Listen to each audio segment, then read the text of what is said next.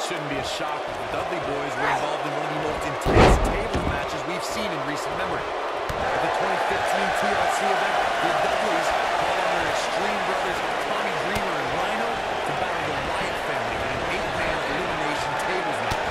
People were flying everywhere that night. In classic ECW fashion, so were the trash cans and kendo sticks.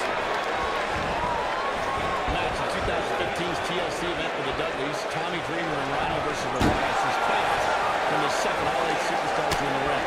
Braun Strowman was awesome in his destruction of all four members of Team Extreme, but the ECW originals kept the focus on making sure each member of the Wyatt family crashed through a table.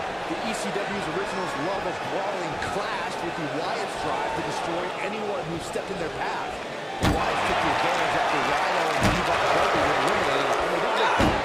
But Ray took on the Wyatts with everything he had. The second, they were just too much. You want to talk about WWE Hall of Famers taking things to the extreme? The first time many fans saw somebody put through a table was in 1984. Randy Macho Man Savage drove Ricky Morton of the Rock and Roll Express through a table with a pile driver at the Mid-South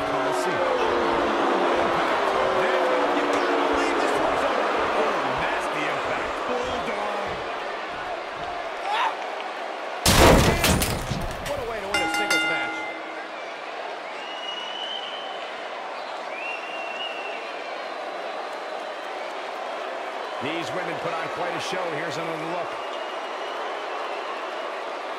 She's taking care of business.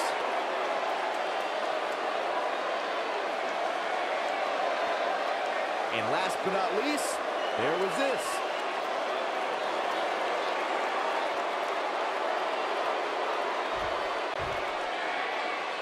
Here is your winner, Puerta Tony. Nicely done, picking up the win here. Hey, she was the better woman of the two tonight. It's that simple.